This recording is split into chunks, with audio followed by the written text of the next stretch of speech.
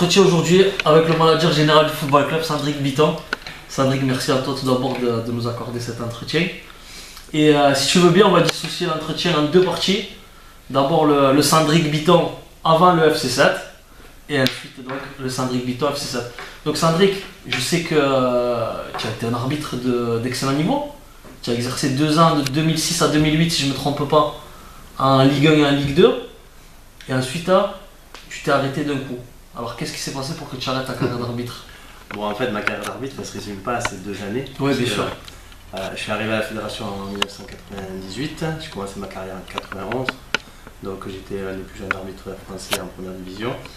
Euh, ensuite, j'ai fait euh, au moins 5 ans, 6 ans de seconde division avec euh, plus, de, plus de 100 matchs en tant que quatrième arbitre en première division. Et après, une saison en première division au centre avec, euh, avec un trophée des champions, euh, Lyon-Sochaux, avec. Euh, avec euh, des matchs fabuleux comme euh, le match amical du Brésil-Algérie à Montpellier, Ah, on euh, sent. un souvenir extraordinaire. Donc euh, voilà, après en 2009, j'ai eu un différend avec, euh, avec euh, pas le responsable d'arbitrage français, mais un de ses euh, acolytes. Et puis euh, ma franchise m'a desservi, et puis euh, on est rentré dans un conflit qui a fait qu'à la fin, euh, euh, voilà, je n'ai pas toléré certaines choses. J'ai aussi un comportement qui, qui euh, n'a pas été correct envers cette personne. Et puis voilà, après on s'est arrangé, euh, j'ai terminé ma carrière. C'est, je ne veux pas te le cacher, une grosse, grosse, grosse blessure, une clé ouverte. C'est un regret donc. Ah, c'est à un moment donné, euh, sur le coup, mon honneur, j'étais fier de ce que j'avais fait. Quelques années après, quand tu es, à- on veut dire, au sommet de ton art à 35 ans et que tu restes 10 ans de carrière et que on t'arrête comme ça aussi précipitamment, c'est maintenant, euh, après 10 ans de carrière, un regret. Mais bon, peut-être que j'aurais pas connu des joies familiales comme j'ai eu. euh, Peut-être que je ne serais pas à 7 aujourd'hui, donc euh, bon, voilà, je ne vis pas dans le regret, mais c'est vrai que c'est une blessure qui ne s'est pas encore refermée. Alors comment tu es tombé dans, le, dans la passion de l'arbitrage? Est-ce que tu étais footballeur plus jeune? Comment, comment ça Alors, t'est venu? J'ai commencé le football à, Montpellier, à la Payade à l'époque. Tu es natif de Montpellier? Mon natif de Montpellier. Mon papa était dirigeant là-bas et euh, donc j'ai joué. J'ai eu la chance de jouer avec euh, grands joueurs comme euh, Vincent Candela, euh, Brian Thiam, euh, Jean-Christophe Rouvière, qui j'étais en classe. Donc j'ai depuis tout petit baigné dans le football. Ensuite, dans les, on va dire, de l'âge de 10-13 ans, j'ai eu un rôle fabuleux au sein du, du Montpellier en fait, j'étais responsable le jour des matchs de donner des invitations aux joueurs. Donc, tu vois, je rentrais dans les vestiaires, des vestiaires adverses, des vestiaires du président Nicolas. J'ai vécu pendant toute mon enfance et jusqu'à dernièrement encore, hein, jusqu'à la saison passée, des moments privilégiés euh, au sein du club qui me permettaient de, vivre les matchs au plus près de. Donc, j'ai toujours cette passion pour le football, pour euh, la vie des clubs, ce qui se passait avant, après. Donc voilà, j'ai joué jusqu'en jusqu'en minime, excellence. Après, j'étais plus euh, un gentilier euh, plutôt qu'un Zidane. hein. Donc, Tu as envoyé, charbon. Ah, J'avais le charbon. Pour un arbitre, j'étais plutôt euh, euh, quelqu'un qui était physique plutôt qu'un technicien. Patrick, à côté de, à côté de ça, donc tu es devenu également dentiste. Tu exerces, tu es, est-ce, que, tu exerces toujours? Oui, j'exerce toujours. Je travaille euh, deux jours par semaine. dans le Gard, c'est ça? cabinet à Marguerite, dans le Gard. Donc, je suis un docteur en chirurgie dentaire. Ça aussi, j'ai toujours mené de front ma carrière sportive avec ma carrière professionnelle. J'ai jamais voulu arrêter mon métier. Donc, par moments, c'est des semaines qui sont un petit peu longues. Heureusement, j'ai des patients qui sont quotidiens parce qu'en train de parler du football que de 7 à longueur de journée, hein, pendant les soins en dehors des soins, ils sont, ils sont, ils sont gentils avec, avec leur dentiste. Alors Sandrick, maintenant on va aborder le, passage au FC7. Tu es arrivé cet été en tant que manager général. Tu as fait toute ta carrière de dirigeant au sein du Montpellier Hérault. Comment, comment se fait-il que tu es arrivé au FC7 et par quel intermédiaire tu es arrivé au football club? Bon. Par, rapport à, par rapport à mon arrivée, elle est très très simple. Euh, au, mois de, au mois de février dernier, euh, par un système de rencontre, euh, quelqu'un, pendant que je passais mon diplôme de, de BMF, le brevet de moniteur de football, pour te donner un exemple, le jour du programme associatif, il y a Jean-François, pas Jean-François, c'est son frère, Scala, qui est venu nous faire une, un audit d'un club, voilà, nous présenter. Et cet audit de club, c'était le club du football club de 7, tout simplement. Et, euh, et donc j'ai écouté ça et je ne savais même pas que trois mois après, euh, j'allais être euh, entre guillemets manager général du club. Ensuite, euh, c'est par l'intermédiaire de Kader Bolaga, d'accord, qui un jour, au cours de circonstances, pareil, lors d'un tournoi, je rencontre Dimitri Payet, puis on, on parle, puis deux secondes après Mandanda, puis le père de, de Gignac. Donc il, a- il a vu que j'avais un réseau assez important. Et que dans le milieu du football, ben, avait, j'avais des relations qui me permettaient de, pouvoir, entre guillemets, faire faire des choses fabuleuses à, mes petits U9 de Montpellier que je me suis occupé avec beaucoup de fierté l'année dernière. Et donc on a fait des tournois contre Manchester City, Chelsea. Et c'est vrai que pour moi c'était une grande fierté de m'occuper de ces gamins. Et euh, j'espère même qu'il y en a qui seront peut-être professionnels dans quelques années. Et puis un jour, euh, au cours d'une conversation, il m'a dit euh, Tu ne voudrais pas t'occuper d'un club? Donc je lui ai dit bah, Écoute, oui, c'est parmi les projets que j'aimerais. Mais c'est vrai que j'ai pas envie de commencer dans un club, on va dire, de, district sans, sans, faire des honneurs aux personnes qui s'en occupent. Parce qu'au contraire, c'est tellement difficile que, que j'avais peut-être pas la force de relancer un projet depuis le début. Et puis euh, un jour, je reçois un appel du, cabinet du maire, d'accord, euh, qui, euh, qui demande à s'entretenir avec moi. Et donc, il m'a demandé de lui faire un audit du club avec un projet. Donc, on s'est revus, on a discuté avec ses collaborateurs et voilà, il m'a donné, donné des consignes particulières quant à, à l'éclosion de l'école de foot, à redonner un renouveau au club, surtout au niveau de l'école de foot et euh, essayer de passer une saison sportive tranquille au niveau de, l'équipe Fagnon, avec euh, une réorganisation du club, du comité directeur, à l'école de foot, euh, essayer entre guillemets de remettre un peu d'ordre au club et de redonner un nouvel élan, parce que bien sûr, il y a un travail qui a été fait avant, qui était bon aussi. Donc voilà, essayer de redynamiser le club entre guillemets. Donc voilà, j'ai repris ma, fonction en, tant que surtout entre guillemets chef d'entreprise. j'ai essayé de, remettre de l'ordre comme si je gérais une de mes entreprises. Et puis, euh, ben, au fur et à mesure, l'arrivée était très très compliquée, d'accord? En plus, en tant que Montpellierin, même je sais pas toi, l'idée que tu as eu de voir un manager général à Montpellierin au, sein du club, euh, quelle a été ta réaction aussi, hein, mais, ça a été très compliqué, très très compliqué, avec de nombreux repreneurs au début. donc on a travaillé, tu vois, dans cette salle avec Nicolas Guibal pendant, pendant un mois et demi, en ne sachant pas euh, si on serait là au manette du club euh, un mois après. Donc ça a été très très compliqué, c'est pour ça qu'on savoure euh, les instants présents quand on voit comment ça se passe actuellement. Il y a quelque chose qui, qui m'interpelle un peu dans tes propos. Tu, tu, tu parles en tant que chef d'entreprise. Nous avons dirigé avec Nicolas Guibal pour le recrutement. Et quid de Jean-Marie Berthier qui est le, président du club? Quelles sont ses responsabilités à l'heure actuelle? Alors Jean-Marie Berthier est, est, sans côté le président du club. Donc avec Jean-Marie Berthier, depuis le début, euh, on s'est entretenu du fait que je devais lui rendre compte de, toutes les, décisions qu'on prenait. Donc il a validé toutes les décisions, euh, soit par lui, soit par Michel Rousse, le vice-président, qui était mon relais au sein du club.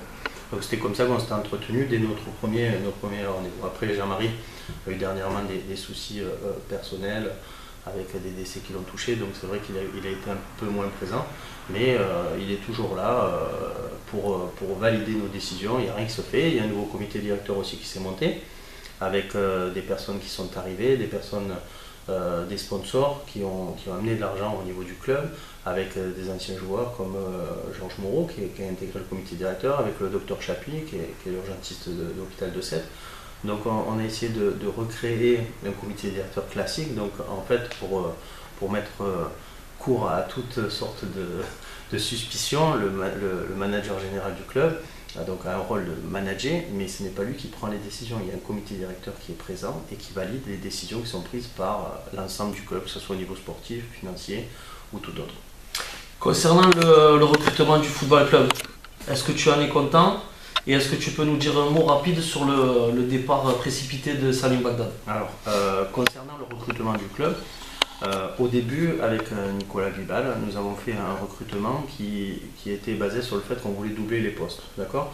Et nous avions fait un, audit de la situation passée, donc ça a été très compliqué de se séparer de certains joueurs.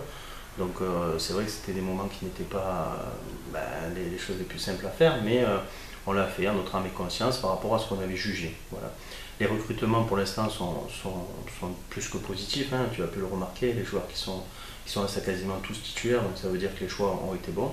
Concernant Salim, alors Salim, je vais être très clair, c'est quelqu'un pour moi qui, à cause de, ses blessures en début de saison, et ensuite quand il est revenu, s'est reblessé une cuisse, donc n'a pas, eu, pas sa chance, et je le regrette, je regrette parce que pour moi c'est un très très bon joueur, et je lui souhaite beaucoup de bonheur. Euh, euh, voilà. Après, nous avons eu une discussion très simple il y a, à peu près 15 jours, et je lui ai dit, voilà, à un moment donné, est-ce que tu penses que tu es heureux au Football Club 7 actuellement? Et euh, il est natif de Toulouse, il a sa, famille et sa femme qui sont sur Toulouse. Donc il m'a dit Sandrick, moi pour être un choix numéro 2 un choix numéro 3, ça ne m'intéresse pas. Donc voilà, il a, il a, je veux dire, pour moi c'est quelqu'un d'une, grande valeur et, je, je suis attristé par son départ et, j'espère qu'il, va réussir ailleurs parce que je suis sûr que c'est un grand joueur.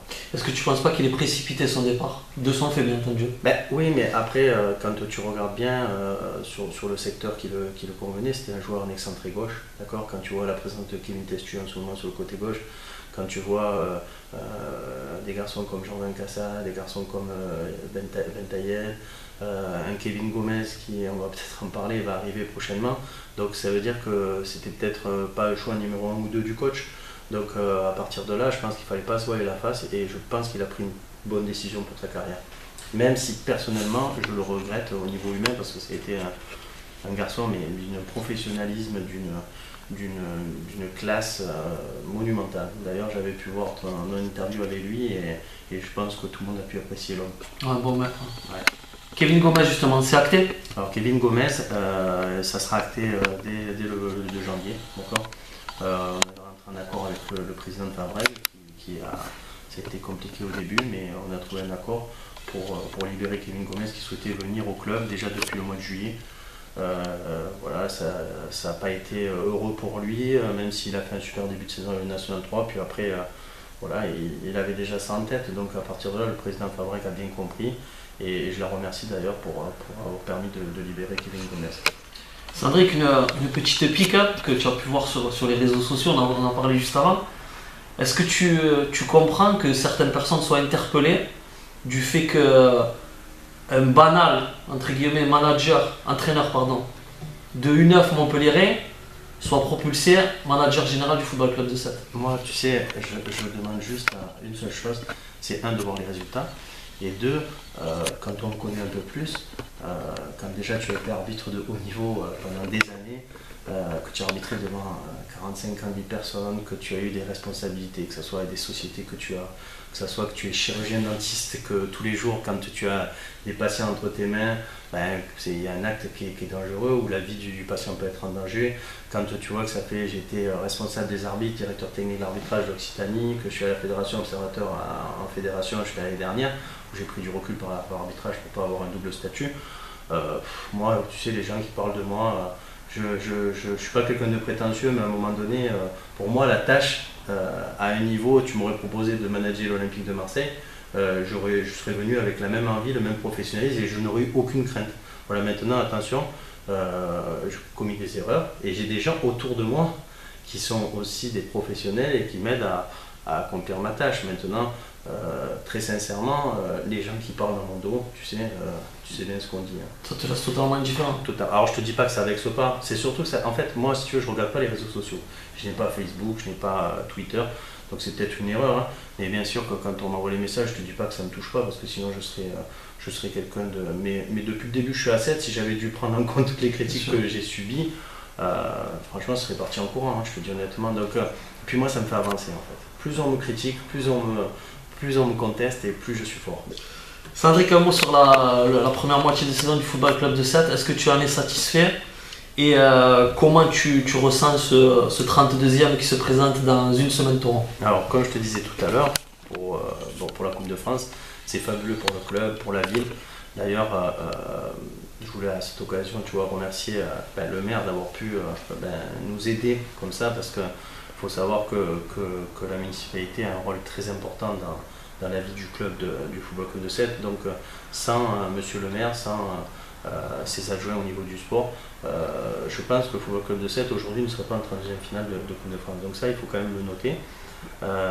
et très rapidement aussi, dire que, que, pour nos jeunes licenciés, tu vois, on a eu on a eu très rapidement en début de saison, et après je parlerai du, sportif, mais tu vois, on a donné une dotation plus qu'importante pour nos jeunes. On va faire là une pièce de théâtre pour, euh, pour l'épiphanie. Donc euh, pour moi, l'essentiel, c'était aussi de recréer euh, une école de foot avec une vie.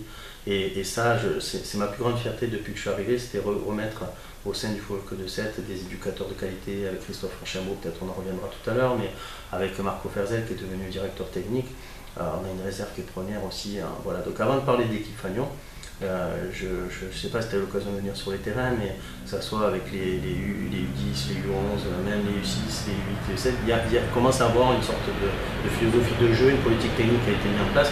Donc ça, tu vois, au 31 décembre, c'est ma, plus belle fierté pour l'instant au niveau du club. Concernant l'équipe Fagnon, je suis, euh, content, mais euh, tu ne peux pas savoir la frustration qui m'habite aujourd'hui.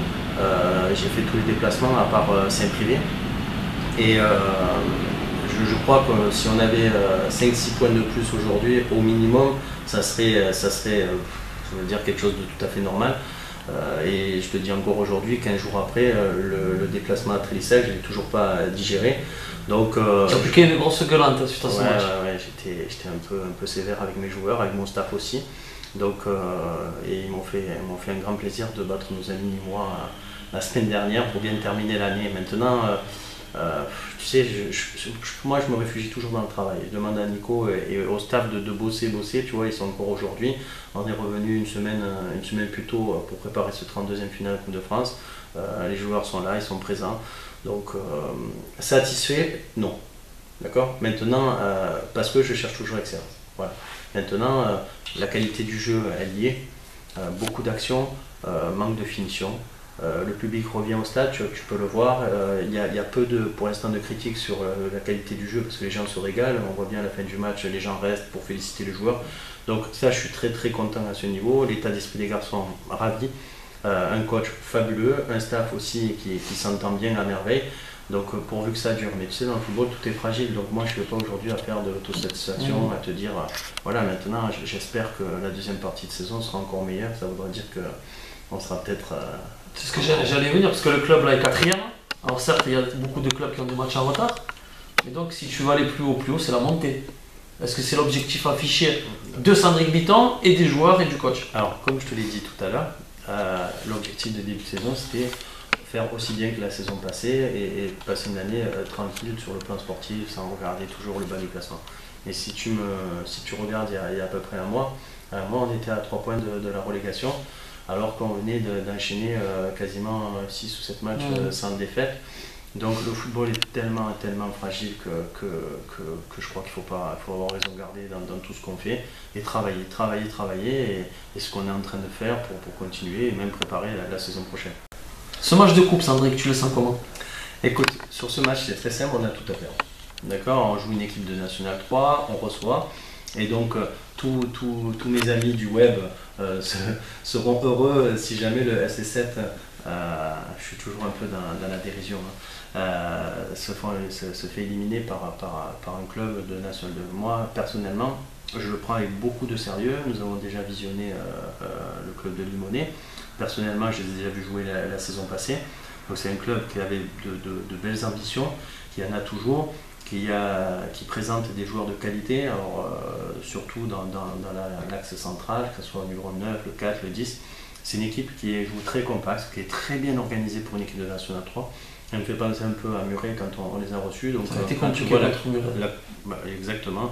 Euh, la difficulté du, match de Muret. Donc moi je m'attends à un match très très compliqué. Je sais que, que mes joueurs respectent cette équipe de Limonet sans aucun problème. Et donc on va avoir un match euh, digne de ce nom pour une 32e de Coupe de France avec un stade qui va être euh, orné aux couleurs de la Coupe de France, un multiplex sur, euh, sur Eurosport, donc, Eurosport 2. Donc tu sais, c'est des moments comme ça qu'on a envie de vivre, mais comme je te le précisais avant, avant l'interview, c'est ce moment-là, je le laisse aux joueurs et, au staff. C'est vraiment leur moment. Voilà, je pense que c'est un petit peu leur moment hors, hors, championnat. Et, ce plaisir, j'espère qu'ils vont le vivre le plus longtemps possible. Sandrick, est-ce que tu t'inscris dans la durée avec le football club? Écoute, moi je, m'inscris euh, avec la mairie, hein. ça a été acté euh, il n'y a pas plus loin d'un mois, jusqu'à fin 2020, jusqu'aux deux ans. C'était ce qui avait été prévu avec le, avec le, avec le maire, même si rien n'a été euh, signé pour l'instant. Et moi, comme je l'ai toujours dit, mon contrat ici, je serai toujours avec Nicolas Guibal, quels que soient les résultats. Alors il y en a certains qui m'ont critiqué quand quand j'ai dit ça, parce que on m'a expliqué que ce genre de choses ne se disent pas. Mais comme je suis arrivé dans une situation très compliquée avec lui, qu'on a eu des moments très compliqués, sachez que dès l'instant où je signerai mon, contrat de manager général, en même temps, Nicolas Guibal sera l'entraîneur du, Football Club de Sète tant que je serai là. Donc ça, c'est pour moi une marque de confiance pour un homme qui est, extraordinaire, d'accord, est un gros travailleur, a, donné beaucoup de, d'implication dans, sa vie de tous les jours pour le club. Et ça, je voulais que tout le monde le sache. Parce que euh, même si euh, des entraîneurs comme Jean-Luc Musée aussi était un, grand travailleur, j'ai pu lire son interview. D'ailleurs, si tu veux qu'on revienne un petit peu sur, euh, sur, son interview, parce qu'il y a eu un petit passage et après qui a été modifié un peu plus. c'est des gens de qualité. Donc Jean-Luc a été mon entraîneur en plus quand j'étais petit avec Laurent Blanc, tu vois. Donc c'était mes deux éducateurs. Donc si tu veux, je, connais les deux personnages et je souhaite même pas les comparer. Ça, pour l'instant, je sais que Nicolas, comme peut-être Jean-Luc, on aurait pu travailler ensemble de, la même façon, est quelqu'un vraiment d'extraordinaire. Alors Jean-Luc, justement, on en avait, j'en avais parlé avec lui hors caméra et après avec ce, ce fameux interview, qui s'était réalisé ici même d'ailleurs. Hmm. Il a, il a pris ça comme un peu un coup de, un coup de couteau dans le dos. En fait, on a, on a eu, euh, si tu veux, avec Jean-Luc, ce qui s'est passé, c'est qu'il y a eu une succession de, de malentendus, en fait. Euh, et, puis euh, on, a, on, a, failli se rencontrer mais juste avant l'interview, ça s'est pas fait.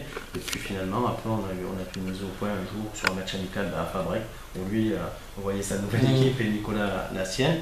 Et puis bon, depuis maintenant tout est rentré dans l'ordre et, ben, voilà, il a convenu qu'il n'y avait rien de, de, méchant ou de malsain dans, mon comportement. Tout simplement, quand je suis arrivé au club, on m'a dit que au musée donc euh, arrêter ses fonctions d'entraîneur au Football de 7. Donc moi dans mon projet, j'avais anticipé la venue d'un entraîneur, j'avais euh, plusieurs, euh, plusieurs personnes en vue.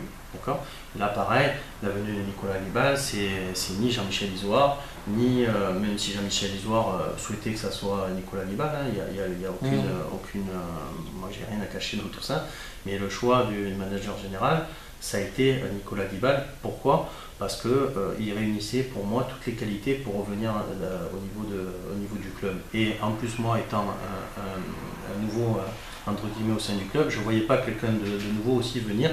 Et, je pense que ça aurait encore plus traumatisé les gens. Donc, Nico étant un ancien joueur du Football Club de 7, véhiculant des valeurs humaines formidables, parce que bon, bien sûr, je me suis renseigné avant de le faire signer sur le personnage. Et je veux dire que ce soit tous ces anciens joueurs ont loué ses, compétences. Donc, euh, et puis pour être allé voir Fabrec l'année dernière à, plusieurs reprises, et pour m'être régalé euh, devant, devant, cette équipe, je ne doutais pas qu'il fasse un super travail au football club.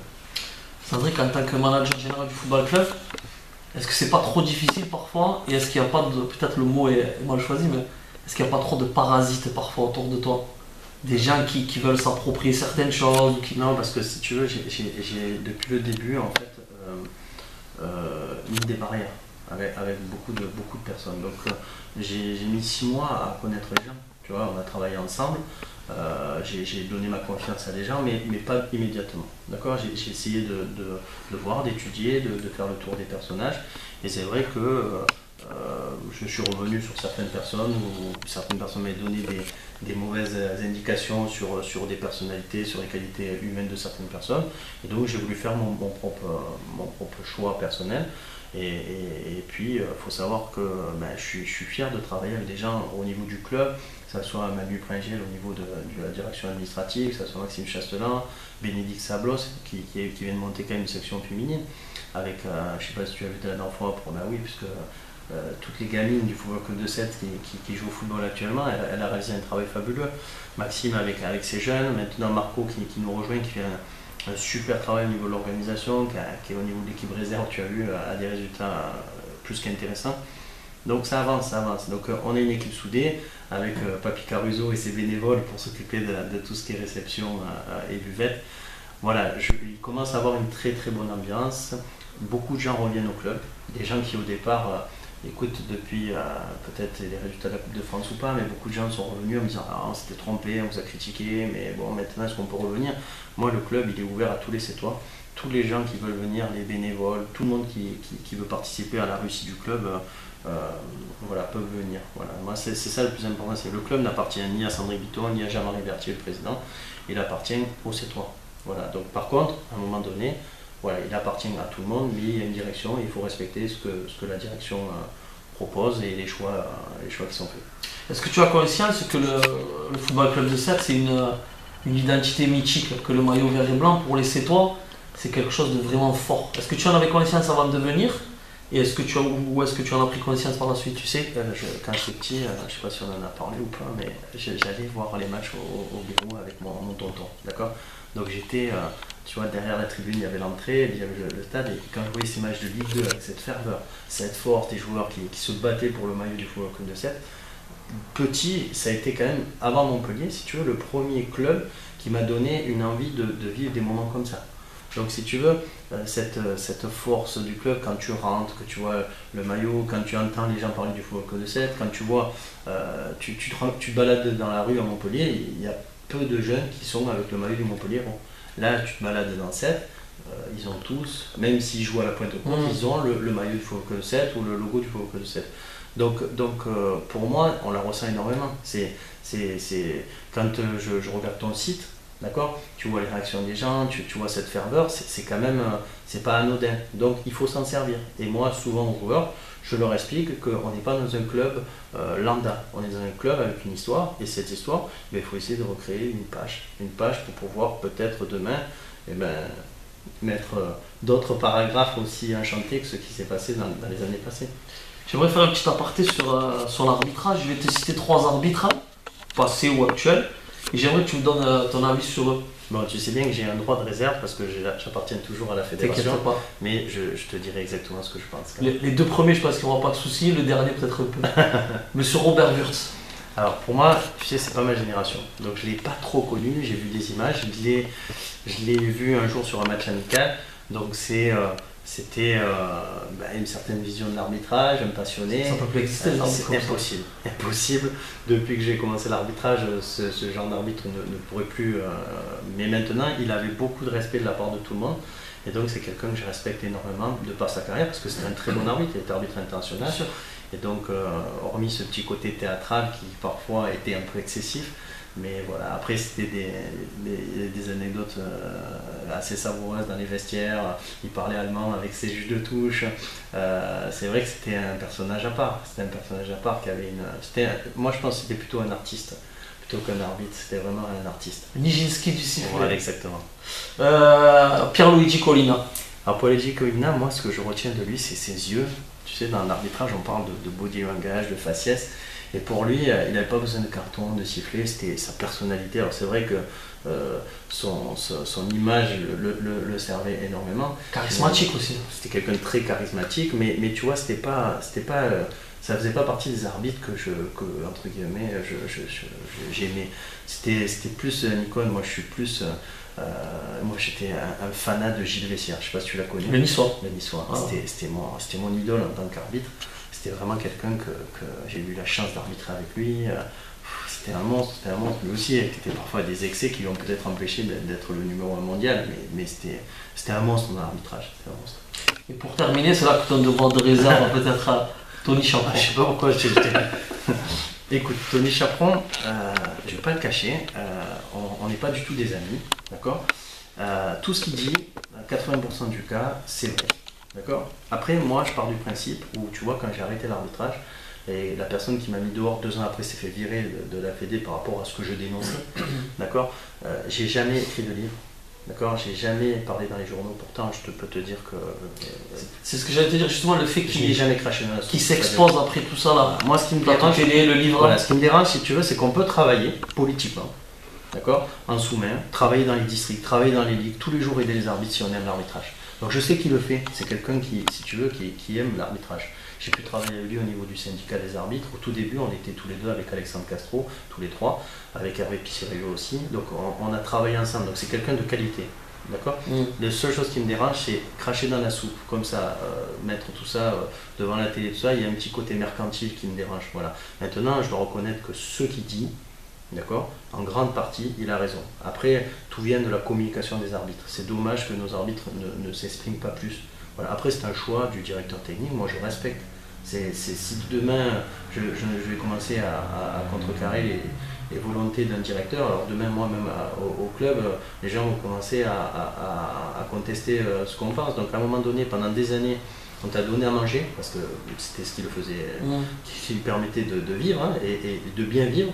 Donc après, ce petit côté critiqué, euh, euh, devant les caméras, cracher dans la soupe me dérange. Même si je le répète, tout ce qu'il dit, à 90%, c'est une vérité. Et ce geste en lui-même qu'il a fait pendant ce match de Ligue 1 ben, C'est tout simplement. alors, il y en a qui diront que c'est un mauvais réflexe. Moi, je, je garde mon devoir de réserve. Alors, je, je, vais tourner la question autrement. tu veux vraiment, tu veux vraiment que je me fâche avec. Non, est-ce que toi, tu, tu penses que tu aurais pu commettre ce geste-là? Comme, comme, je te le dis, je ne veux pas rentrer dans ce genre de discussion parce que souvent on dit bah, ça je le ferai jamais, puis un jour tu le fais dans ta vie. Hein. Donc, si j'avais été confronté à ça, euh, ça a été un arbitre d'un niveau supérieur à moi. Euh, là il est en train de faire un match Nantes-Paris Saint-Germain. Euh, j'ai fait un match un jour un jour comme ça de, très haut niveau sur le titre en Lyon-Lens, je me rappelle la pression était énorme. Donc donc je ne vais pas le critiquer parce que l'homme est ainsi fait qu'à un moment donné, on peut avoir une réaction de ce type. Donc je ne souhaite pas juger. voilà, moi je, parle d'ensemble. Voilà. Ces commentaires sur l'arbitrage sont bons. D'accord? Donc c'est bien qu'il soit Canal+. Moi je, suis content qu'un arbitre soit représenté dans, l'audiovisuel. Je trouve qu'il n'y en a pas assez parce qu'il y a beaucoup de bêtises qui sont, qui sont dites. Donc, ben, qui continuent et, qui servent l'arbitrage et, qui ne servent pas sa personne. Voilà, c'est la seule chose que je lui demande. Pour terminer, Sandrick, je te laisse le, mot de la fin. S'il y a des sujets qu'on n'a pas abordés, que tu souhaites toi-même évoquer? Non, je veux juste euh, dire que, notre Gambardella aussi, euh, j'espère le, 5, le 6 janvier à 14h30 à Thomas Auvert. Il y a eu l'imbroglio là aussi, hein, le match là-bas, ici, c'était compliqué. Hein. C'était assez compliqué, mais bon, quand tu voyais l'état du terrain. Euh, la dernière fois, c'était horrible. Je veux dire, c'était pas, pas possible de permettre de, sécuriser les joueurs euh, sur, sur un terrain comme ça. Alors c'est vrai que là-bas ils l'ont un peu mal pris. En plus on a appris qu'au bout de deux fois apparemment le, match était inversé. Donc euh, c'est vraiment, c'était vraiment injouable. Je veux dire, après je comprends qu'ils voulaient faire euh, bah, respecter leurs leur, droits entre guillemets, mmh. mais je pense que l'arbitre avait pris une sage décision. Donc moi aussi, la Gambardella c'est important. Venir voir les jeunes le, le week-end, euh, il n'y a pas que l'équipe première, donc ça c'est important aussi. Et puis euh, j'espère qu'on pourra se revoir en fin de saison pour adresser un, bilan qui sera plus que positif. Avec une montée au bout, ça serait super. Ouais, mais après il faut, raison garder, je pense. Et puis après, pour finir, sache que j'adore tes interviews. Je suis un fan. Euh, même de, ça me permet moi de, voir un petit peu toute l'histoire du club par tes photos, par tes... Et puis bon voilà, j'apprécie toujours ton côté euh, franc dans tes interviews, même si des fois tu vois tu nous mets un peu en, difficulté, mais, mais voilà, c'était un plaisir de te, répondre aujourd'hui. Merci beaucoup Sandrine. À bientôt. Merci. Merci.